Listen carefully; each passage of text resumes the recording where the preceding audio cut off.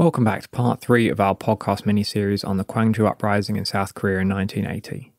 If you haven't heard them already, I'd go back and listen to parts one and two first.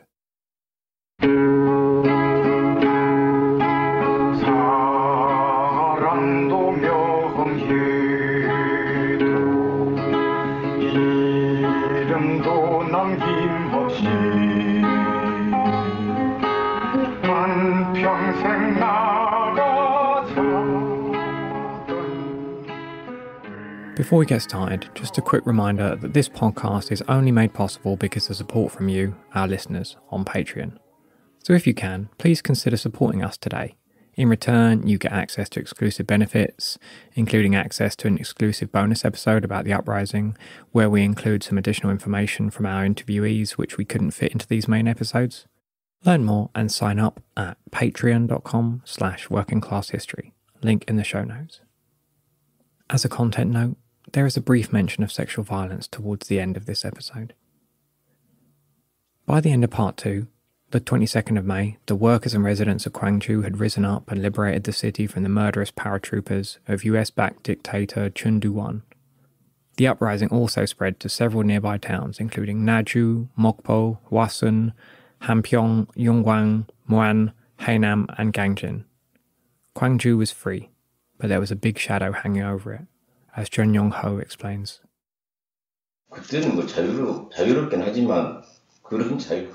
Well, technically, there was a kind of freedom, but it was like a type of freedom you feel before death. It's a nervous sense of peace before the impending doom, like the calm before the storm. It was more of a nervousness than freedom. Kim Yong Ho, meanwhile, had been taken into a house by local residents who helped him recover from getting shot by the soldiers. 총상 치료를 받고 I was treated for gunshot wounds, 그 분노 and with my mind full of anger, I went back to provincial office. After a visit to the hospital, Kim then decided to try to join the citizens' militia which had been established to fight the paratroopers, and was headquartered in the provincial office. 그리고 나서 어 이제 다시 도착 Some man who was in the hospital shouting, if anyone can walk, let's go out and fight. I must have followed his message that all our citizens are dying, our families are dying. Everyone who can stand up and walk, we must go to the provincial office. Thinking about why I must have followed him, as I mentioned earlier, I did not know why it happened. I just had no clue. I just happened to be watching a demonstration and found it fun, and it all just happened to me. That is why I felt that it was a war. I have four siblings, and my father was living in an island called Wando. I thought I should protect my mother and siblings. I thought I had to fight with a gun to protect them, so I went to the provincial office and asked for a gun. But the civilian army would never give me a gun. The reason why they never gave me a gun was that they never gave it to anyone who didn't have any military training. Yes, they only gave guns to the people who had military training, so instead, the work that I was given was to disinfect the bodies when they came in, cleaning the deceased. In Korean, it's called yum. I put cotton in alcohol, wipe the blood, or put alcohol cotton into the bullet hole. Kap Su Seol, researcher and lead translator of the book Gwangju Diary, explains that within the uprising, two main factions emerged, based on their strategy for how to proceed. like many other uprising, during the course of uprising, there are three major groups emerge. One is like ordinary people; they have a leader idea what to do about uprising, but they want to know and that they want to follow if there's some direction.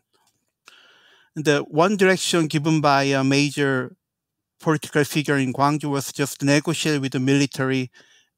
And that's, to be honest, to negotiate the uh, term of surrender. Uh, the other group was, was a small group led by uh, Yoon Sang-won, who was a former student leader. Then he had a he had he had a nice call Tulpur, Wildfire. That group tried to organize people into strong resistance against the military and then wait until other city rising up. So there's a big tension between this uh, uh, soft liner and the hard liner of the future of Gwangju. The moderate faction who wanted to surrender swiftly set up a body called the Citizen Settlement Committee, based out of the provincial office. They put together some demands, like amnesty for all protesters, and began trying to negotiate with the government. David Dolinger, a Peace Corps volunteer, had access to the provincial office and was an eyewitness to some of the discussions taking place. When the troops had first left the city, the groups that was really initially controlling and negotiating with the military were a lot older. So it was a lot of the established clergy, elderly businessmen, you know, sort of the respected elders. Um, part of the problem you had is with the younger generation, the students, the, the young uh, blue collar workers, is that group just wanted to sort of acquiesce to the military and just try to get back to normal quickly as possible. And the young did not see that as a path forward because they knew that they would, you know, a lot of them would be arrested. They would have no amnesty for anything that they did. So there was fighting really internally in some ways, or debate. Let's that way. So at one point, the entire um, sort of citizens committee changed really into a, as I called it, the student uh, committee and the young workers committee. And that even changed because within those there were um, groups that were more um, opposed to just giving in to the military and those that still wanted to sort of just meet all the military's demands and have this sort of come to an end and, and just everything go back to normal. Despite the fact that the hardliners and others wanted to continue the uprising, the more respectable business people and moderates of the Citizen Settlement Committee started negotiating with the government and also began acting on their own to undermine the rebels by collecting weapons and hand them over to the military. They were collecting arms, so they weren't just saying everybody just keep whatever you've confiscated. They were bringing back all the arms that, citizens had uh, taken during the uh, the previous days because this is one of the demands the military had. But there was, as a whole setup, it, it changed quite fluidly. The settlement committee managed to gather up thousands of weapons and give them back to the government. They had managed to disarm a number of students, but they had less luck confiscating the weapons of workers and the city's so called underclass. At the same time, police, army, and intelligence agencies attempted to infiltrate the provincial office to sabotage the movement from within. The rebels quickly reacted to this, setting up their own intelligence service to try to combat it, issuing passes to authorized individuals for their headquarters. But despite some successes in expelling saboteurs, government agents were able to cause significant problems. For example, they managed to get access to the rebels' stockpile of dynamite and detonators, and deactivate them without the rebels' knowledge. Meanwhile, on the 22nd of May, South Korean and US officials met, and the US approved a plan to give up control of some South Korean troops to allow them to be used to suppress the uprising in Gwangju. The following day, 23rd of May, some battles were still taking place, as militia tried to dislodge paratroopers from some areas outside the city, like the Gwangju Penitentiary.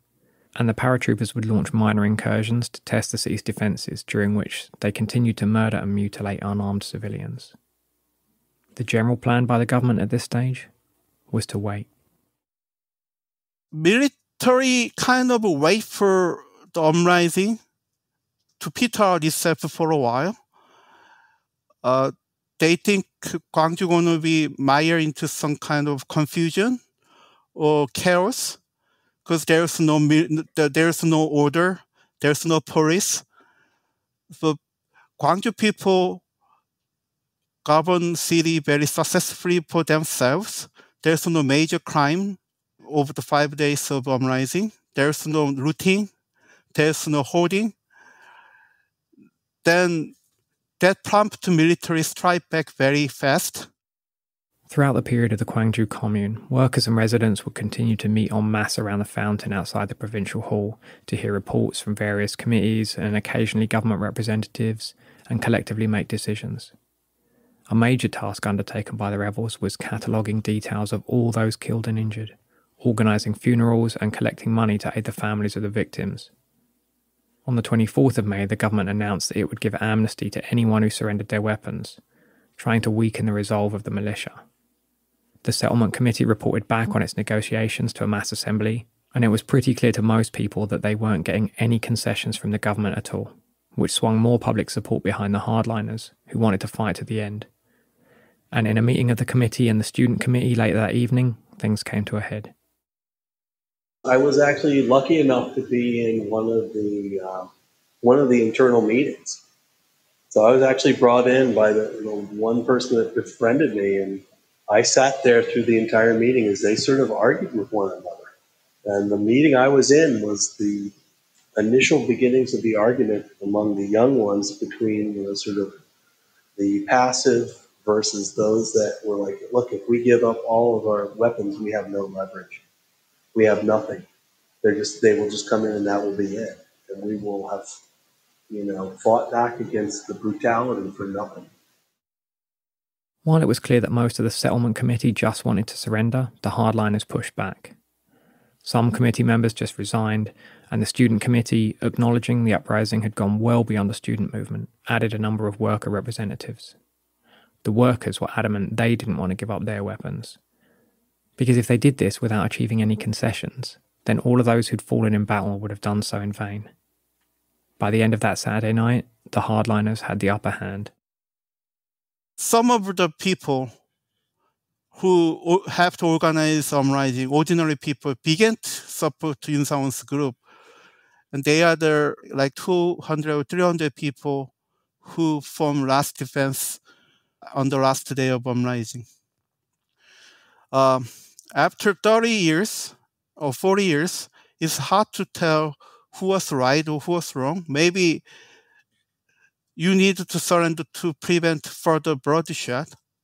Maybe you should fight to the right last until other region rise up. That's topical, but Gwangju people decide to side with uh, Yoon Sang-won and others and fight to last. At that point in time, we were starting to almost get, you know, hourly reports that the troops were, were attacked, or they were encircling in the you know, Gwangju even tighter, they were making the news tighter. So actually, I stayed that night and manned the military radio because they thought perhaps the uh, the troops would be using English uh, to to send commands around. So I actually was asked by the leaders to, to stay in the, the radio, which I did. But starting really Saturday night, Sunday, they knew it was starting to come to an end because I was talking with a lot of the people there. And there were some that were, you could say that they were frightened.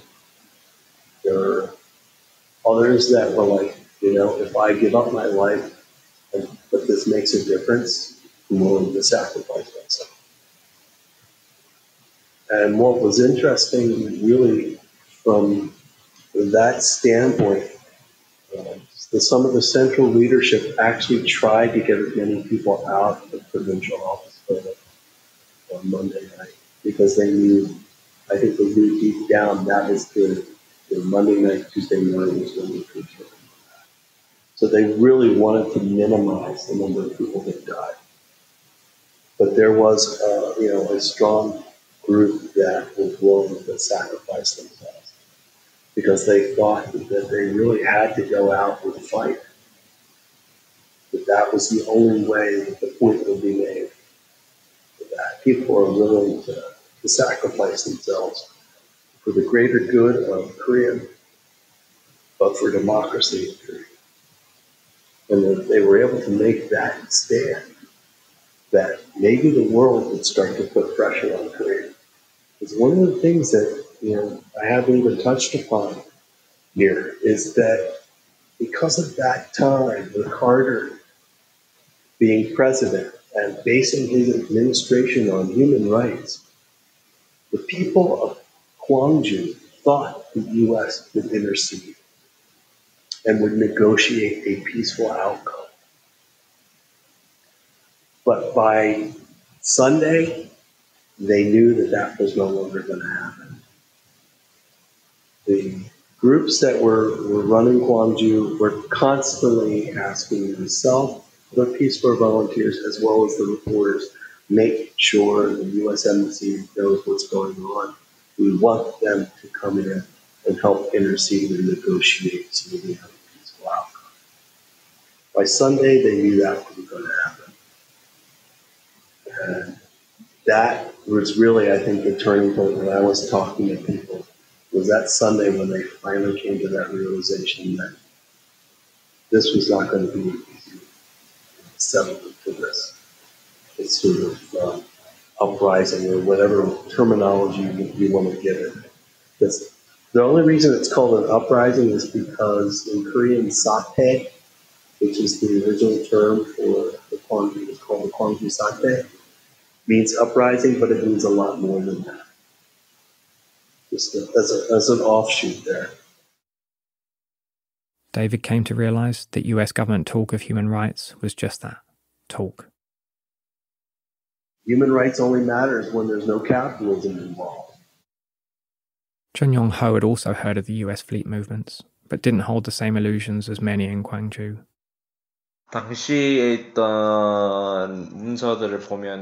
The Americans had an army of submarines and an air force, and they moved it.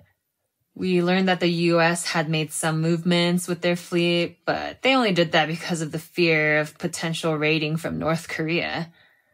We knew about the Americans' movements, but the average civilians didn't know any better. They thought that the Americans were there to help, but we knew that it wasn't the case. They were only concerned about North Korea. It was more of a performative move to bring some false idea of protection or care from the US. Michael Choi, who interviewed Chun for us, asked him if the US government did anything at all to assist the residents of Gwangju during the events. 그 국방 관련한 긴급 수뇌부 회의를 열었더라고요. 광주. You think the U.S. would ever do such a thing? Come to help us? They just pretended like nothing was happening. They just figured we'd take care of ourselves. By the next day, Sunday the 25th of May, Michael Kwangju was back up and running almost normally, albeit with the hospital still overloaded with the wounded and dying. With the militia determined to fight on, the settlement committee also gave up on trying to gather more weapons to surrender. The Student Settlement Committee decided to surrender and vacate the provincial office, and by the end of the day, the hardliners took it over. The official leadership of the rebellion now had a much more working class and an activist basis than before. There was many students left the city, and uh, I I had a good conversation with this uh, wife of Reverend Huntley many years ago. She told me how many he many students escape from the city with his uh, with his car.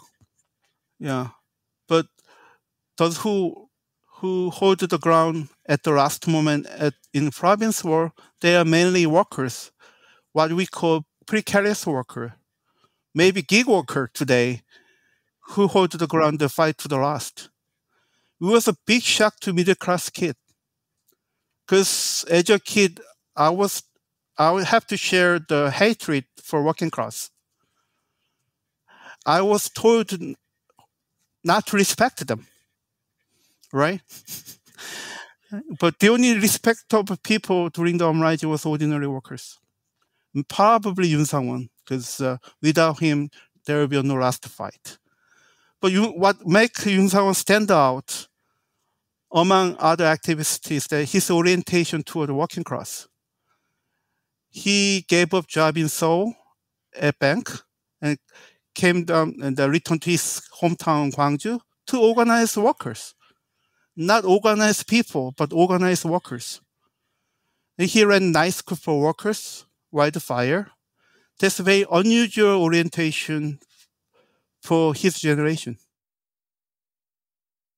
The balance of forces remained pretty much the same throughout the next day, Monday, the 26th of May, with two clear sides lined up against one another the residents of Gwangju, who were determined not to surrender, and the military, who were determined to crush them. Government efforts to destabilize and undermine the uprising from within had failed to have much impact, so they decided to launch an all out invasion. It eventually came in the early hours of Tuesday, the 27th of May. They mobilized two army division and three paratrooper corps to raid the province hall, killed many people who formed last defense. One of them was Yun Sang-won.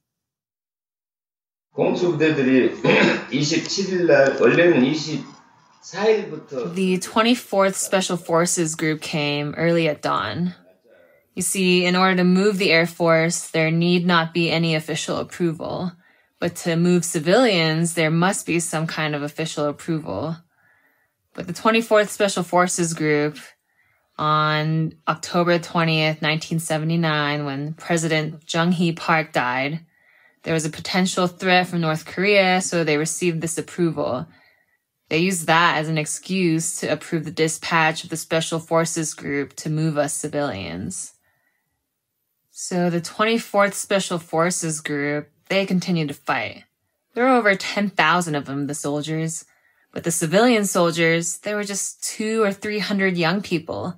Some with guns, but just young kids, you know? Probably about half or a third of them were middle school students. They don't know how to shoot guns. And against them were 10,000 trained, armed soldiers. What kind of fight would that be? But they came to fight, and it was merciless.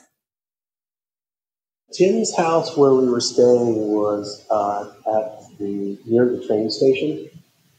So we were actually woken up at about 3.30. We started to hear some gunfire. We also heard on a PA system pleading um, by a woman for the citizens of Gwangju to get up to come to the provincial office buildings uh, because the troops were coming. And I gotta say, that's was one of the most painful things I've ever heard. Right? In essence, really her just pleading with people to come so that this won't have been in vain. Uh, to the point where actually I had initially made the decision I was going to go. And was stopped by Tim. Uh, it was a, in a good way, right? It wasn't in a bad way. Um, but, you know, my plan was actually to go down to the provincial office buildings and sit in front of it in the big plaza that's in front. I'm like, they're not going to kill me. I hope. Um, maybe I can keep the blood so I can have. But by that point in time, when I'd already started to make that decision, you could hear the gunfire occur around us. And what was sad about it is you could hear these rapid fire. In essence, the M16s. Uh, sometimes it actually sounded like machine guns that would then be sort of answered by a pop, pop, pop, which was the, the, uh, the citizens, the people in the provincial office building firing back with their antiquated M1s, which were a rifle from you know World War II vintage. And that's really what you sort of heard. And then you would hear, hear the rumbling of the tanks as they, they came down the streets. That morning I was out of the house in about 8.30 and was able to get, go to the provincial office buildings. I was able to get inside where I saw the devastation that occurred. You know, on the front of the building, just looking in you could see that, that at some point machine guns had been utilized because some of the uh, stucco on the outside of the building was just destroyed. Windows were just totally, had just been totally blown out as I was walking around, you could see at points where it looked like hand grenades had been uh, thrown. There had been fires. When I was there, when I wasn't able to go through the entire building, I counted at least uh, 10 bodies just in the provincial office as I then walked the streets around the provincial office village, I saw uh, I was about another eight um, And what was sad is there were people I saw I knew. That year that had died in the provincial office. Kim Yong Ho had been at the provincial office the previous night but was sent on an errand, which probably ended up saving his life.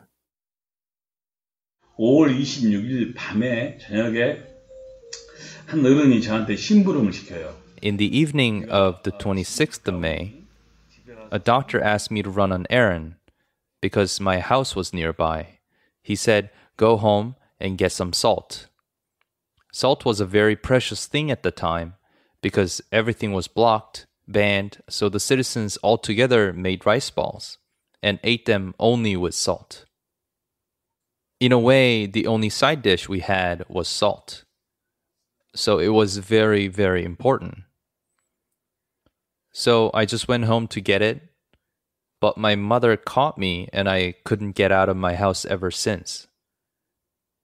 As a grown up, now I am aware that the civilian army knew that the martial law army was coming down at dawn on 27th to take over the provincial office. Then Yun Sang-won, a representative temporary spokesman, sent teenagers and young people back to their homes. The reason why, he said, we need someone to testify about this historical event, so you all should go back and testify about this history. And we will stay here and write a history, alive till the very end.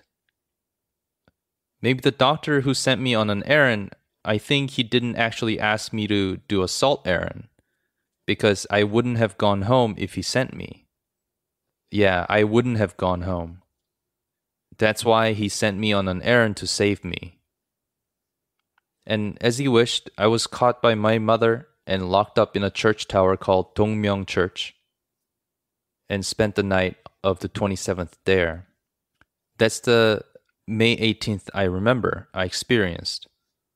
This young child, as a very ordinary teenager, I took May 18th as a war, and my idea was that I must fight against to protect my brothers and sisters, and my mother, yes. This is how I remember those moments. Before dawn on the 27th of May, the military launched final assaults on the last rebel holdouts. Chun Yong Ho was at the Young Women's Christian Association, YWCA, which was also used as a key organising location by activists during the uprising.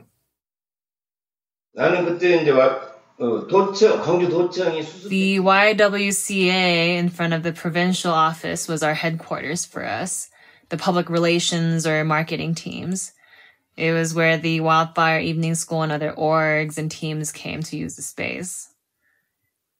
And we weren't soldiers, we were just sharing news and information. There was an emergency alert at three in the morning in our building, so, you know, we had to pick up our guns and fight. We pushed the female students out to escape out the back door, and there were about 30 of us men. We only had 10 guns. A few of us went to go get more arms. I don't know at the time, but the soldiers were just about to break through. The fires were getting bigger and bigger. So we couldn't move until 7 or 8 in the morning. I felt like I had narrowly escaped my death. Some of Chun's friends weren't so fortunate. Yes, there was a lot of hurt and pain for us at the Wildfire Night School team. There was a female colleague of mine and Park Young Jun also. For us, it almost felt like an inevitability. In that encounter, they were shot to death. So in total, we had two members murdered on the Wildfire Night School team. At the provincial office, Yoon Sang Won held hands with his comrades, Kim Yong Chol and Yi Yang Hyun, and said to each other, We will meet again in the next world. The military attacked just after 4 am. Massively outnumbered and outgunned, the rebels fought as long as they could. Most of them were killed, but a handful on each floor ran out of ammunition and surrendered so they could try to tell the tale of what happened one day to the world. Some of those survivors were murdered. All of them were viciously beaten, then arrested. By a little after 5 am, the military takeover was complete and the uprising was over. Then, government forces began to take their revenge, trying to round up and arrest anyone who had anything to do with the rebellion. That last night and the decision the remaining rebels had to make is something Kap Su Seol thinks about a lot. When I have a tough decision, I try to put myself in that last moment in the province. Or if I was in province or in the last day of the uprising, what should I do? Then nothing is that tough because there's one solution to very typical situation. And then that's how I usually use the inspiration I got from Omrising through my life. With the South Korean dictatorship now firmly back in control, many surviving participants went into hiding, including Jeon Yong Ho. We snuck to my older sister's house, which was about five minutes away. We hid there for three days, and after that, we escaped to Seoul. And now we were wanted. My father was a civil servant, you see, a government employee. So they threatened him there that if his son didn't turn himself in, my father, he would have to resign. So I turned myself in. Thousands of people were arrested in the aftermath of the uprising. They were all brutally tortured. 압박이 들어오고 수배가 되고 또 수배가 I turned myself in and was arrested immediately. They interrogated me and they investigated me. I was sent to trial and then they threw me in prison. I was in prison for about 20 days. Other members of the Wildfire Night School were arrested too. We also had two members arrested. Kim Hyung Chul, he was arrested. The next day, he was trying to commit suicide and beat his own head. We took him to the hospital, but the medical care he got was subpar. They just put basic bandages on. So when he got out, there was an infection. The infection grew, and his brain and mental health was quite affected. He was in and out of mental health facilities and hospitals, and in 98, he passed away. And Miss Park, she was also put on the wanted list. At the time, there were about 10 of us on the Wildfire Night School team who were on the wanted list. Eventually, she was arrested and imprisoned. She went on a hunger strike and passed away in prison. By the end of the uprising, the official death toll recognised by the South Korean government was 193, but they later agreed to pay compensation to 288 people. The true number may be considerably higher, as martial law forces were seen trying to hide bodies in various places, like burying them in forests. Even in late 2019, a mass grave was discovered by Gwangju Penitentiary, which might contain up to 250 bodies. DNA tests are currently being run to try to identify the remains. In general, though, estimates of those killed range from 200 up to 2,000. In May 2018, a woman came forward and stated that she'd been raped by soldiers in the repression of the uprising. A subsequent government investigation confirmed at least 17 cases of sexual assault, including against teenage girls and at least one pregnant woman. Given the stigma associated with sexual assault and the difficulties for survivors in coming forwards, the true numbers here are also likely much higher. On top of this, you've also got to consider the hundreds or thousands of people injured, as well as those arrested, tortured, and imprisoned. These were just people fighting for basic civil liberties, democratic rights, and workers' rights, things which Western countries like the US and UK supposedly support. So now it's worth discussing something we mentioned right at the beginning of this mini series how little known this uprising is. In South Korea itself, under the dictatorship, mention of the uprising was forbidden. The book telling its story, Gwangju Diary, translated by Kap Su Seol, was banned, as was the song about it, used as the theme tune for these episodes. Outside Korea, the Kwangju uprising is very little known. I know when I've mentioned it to people in the UK or the US, the only people who've heard of it before have been Korean. Now, of course, in the UK and US, there's not the same kind of state censorship as in a military dictatorship. But as British socialist author George Orwell wrote of the UK, quote, unpopular ideas can be silenced without the need for any official ban. It's not exactly forbidden to say this, that, or the other, but it is not done to say it. End quote. So while talking about the Gwangju uprising was never banned, it's simply, quote, not done to talk about it. So, for example, a search of the BBC website gives three results for terms related to the Gwangju uprising. Whereas if you search for articles about the Tiananmen Square protests in China in 1989, there are nearly 300 results. In reality, these protests in China weren't just in Tiananmen Square in Beijing, but took place in cities across the country. But we're going to use this commonly understood term to refer to them. And on CNN.com, similar searches give one result for an article which briefly mentions the Gwangju uprising, an article which contains significant factual errors as it happens.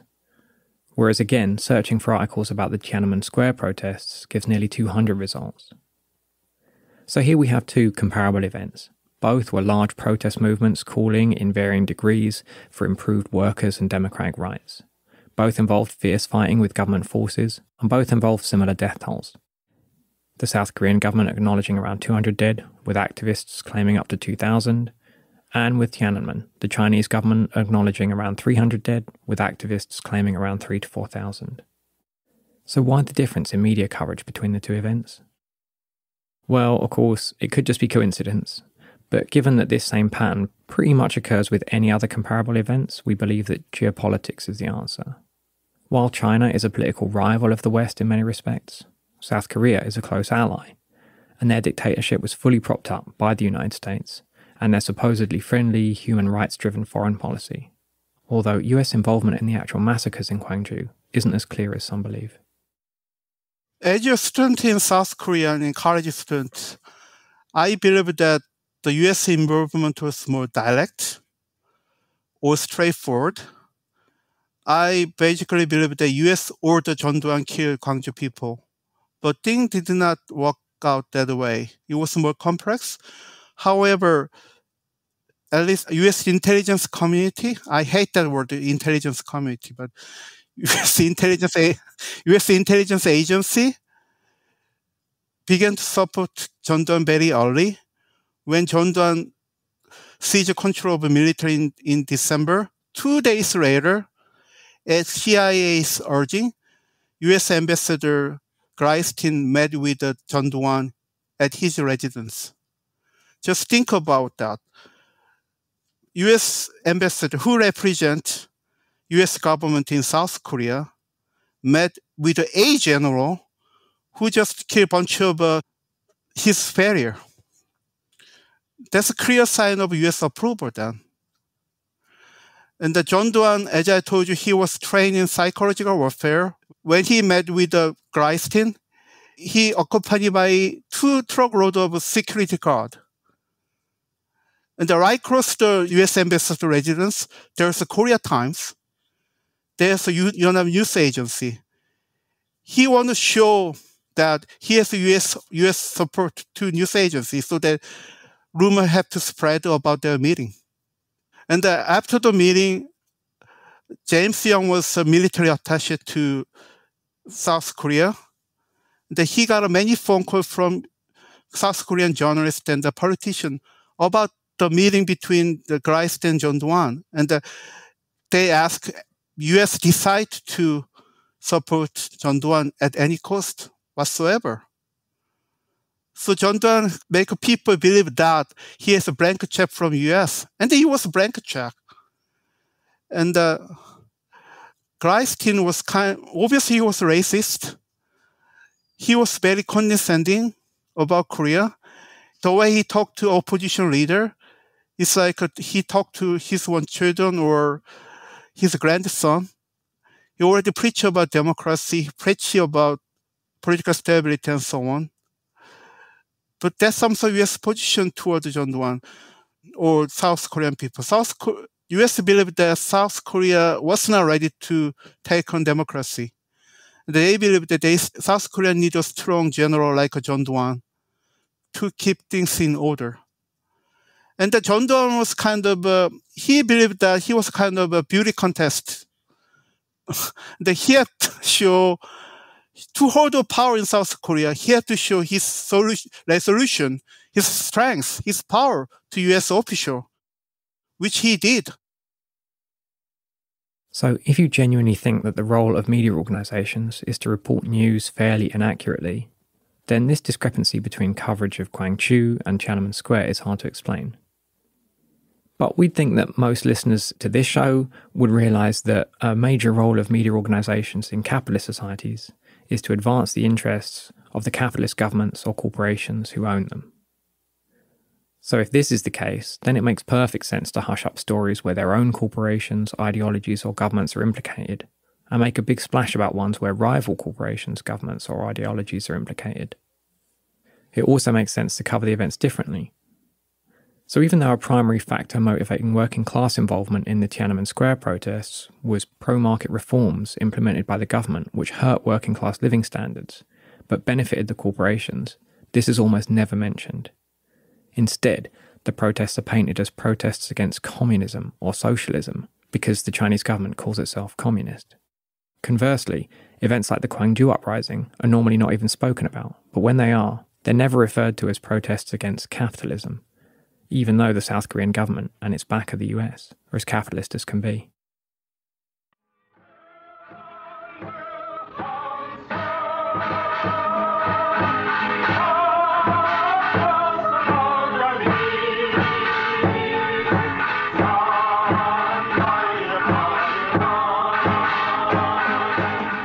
That's it for part three of this mini series.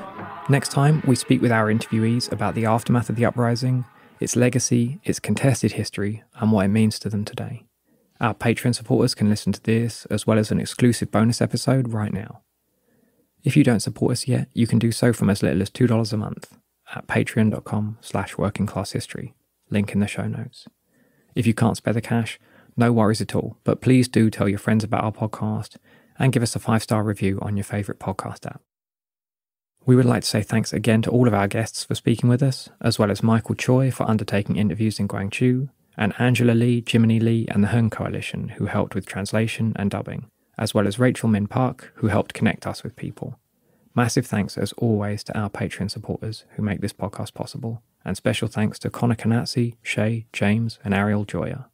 Theme music for this episode was Marching for the Beloved, about the Kwangju Uprising, by Baek Ki Wan, Hwang Suk Young, and Kim Jong Ryul.